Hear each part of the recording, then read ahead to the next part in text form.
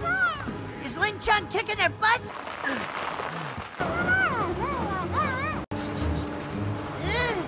Zebras!